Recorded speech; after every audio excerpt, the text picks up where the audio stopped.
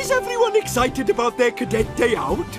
Uh, yeah, we're going to ride in a helicopter. Not just any helicopter, Wallaby 2! Yay! Oh, loud. I think that's a yes, Elvis.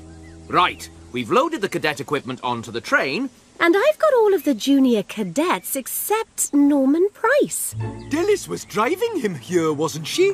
Well, we're going to be late for the activities if we wait any longer. And I have a timetable to keep.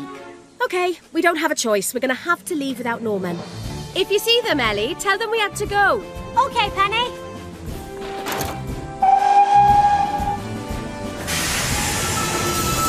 No Norman Price. This should be a quiet day.